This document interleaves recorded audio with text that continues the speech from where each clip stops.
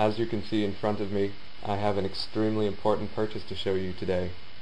We're going to be taking a look at the Nichijou Yuko Aioi and Nano Shinonome figures manufactured by Sega. And if you know me, you know that Yuko Aioi is my waifu, and Nano Shinonome is also another love interest of mine, and I am absolutely thrilled to own them for that reason. I already have them out of the boxes, but I might as well show you the boxes anyway. So first of all, here is Yuko's box, and there's her name written in kanji, copyright.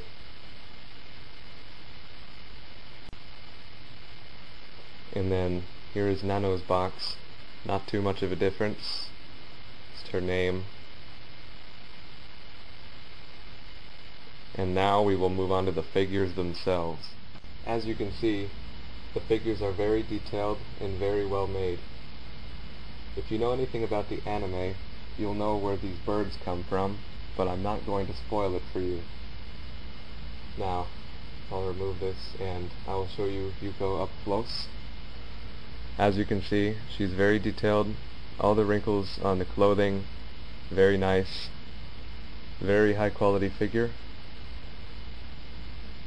And she has a stand that she can come off of. And then move over to Nano. Here is Nano up close. Same level of quality.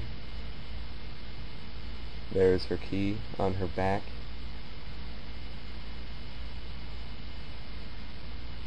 and she too has a stand that is removable